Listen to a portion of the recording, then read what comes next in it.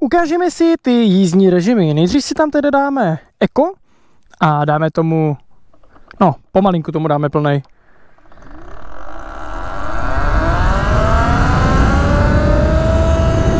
Tak, 47 km za hodinu máme plný plyn na Eco. Dáme sport, radši uberu. No, tady teďka nemůžu asi využít plnou rychlost. Tak. 70, 83, 84, 85, 85 km za hodinu je režim sport.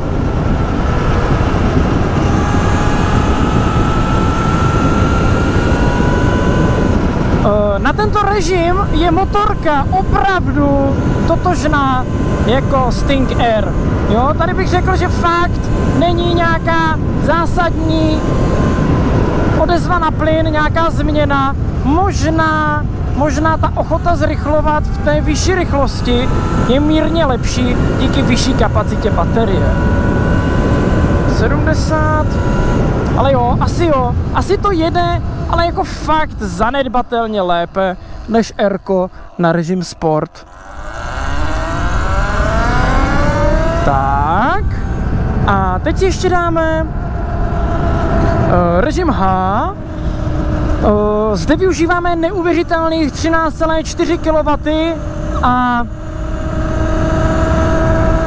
počkejme, až budeme mimo vesnici a teď tomu přidáme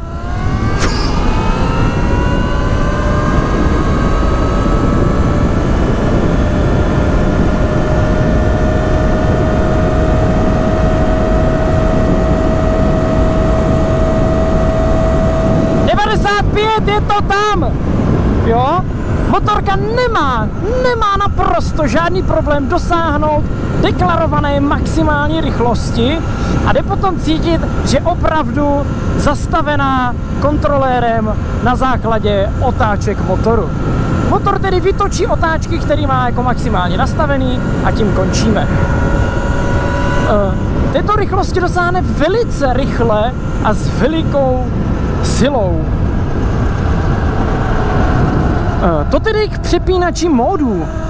Viděli jsme tři módy, viděli jsme ty obrovské rozdíly ve eh, výkonu a v případném rozjezdu. Eh, teďka bych se ještě otočil a vezmeme si celou trasu zpátky a natočíme si zrychlení na jednotlivé režimy.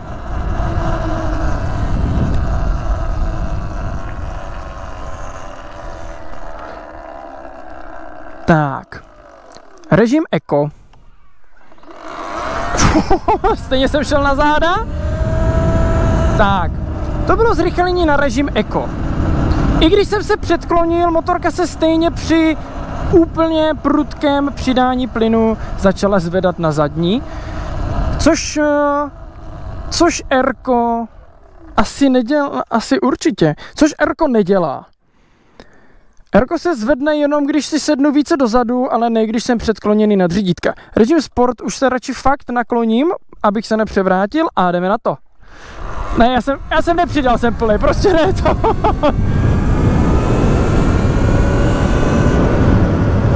ale jako zkusím to ještě jednou, ale se fakt bojím. Fakt se bojím, protože to jde na záda, prostě hnedka.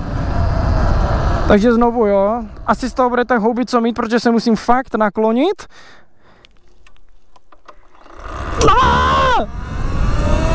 Stejně se to kousek zvedlo, i když jsem byl úplně nad řídítkama a to zrychlení je fakt obrovské. No, dáme si režim zvaný jako H a zkusíme si zrychlení na režim H. Nebudu dávat plný na rozjezd, protože to fakt nejde. Jako to prostě Nejde. Teď mám plný tepr.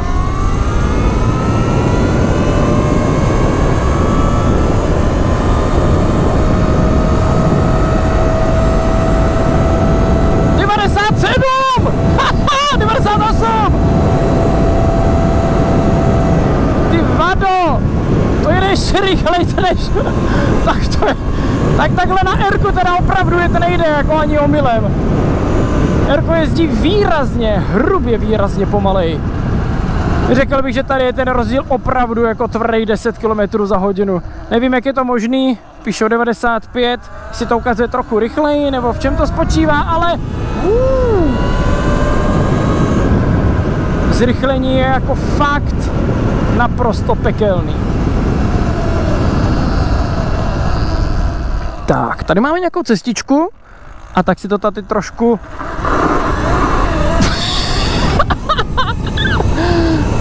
tak si to tady trošku polítáme.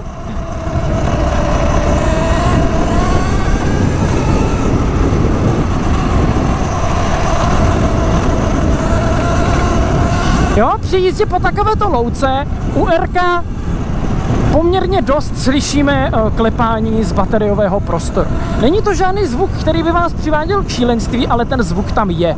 Tady je opravdu naprosté ticho. Když už tady jedeme, tak se můžeme podívat na krásný bramborový kombajn. A zase plný, jo? To prostě, i když a dělám, co dělám, tak to buď hrabe, nebo to jde okamžitě na záda. Do zatáček se to trhá.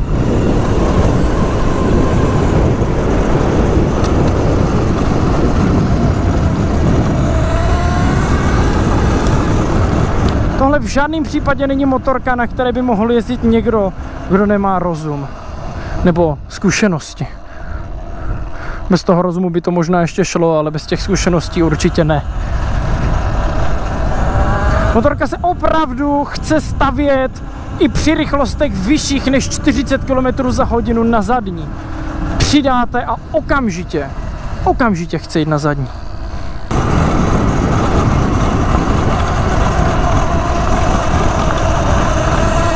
Tak a tady si vyjdem do lesíka. Prťo. Úplně jako se mě teďka v hlavě vybavuje to, jak jsem jezdil na Kawasaki 250 ale teda jako takto šílený pocity jsem na té motorce opravdu neměl. Jako kdo, kdo se na tom neprojede, tak tomu neuvěří. To,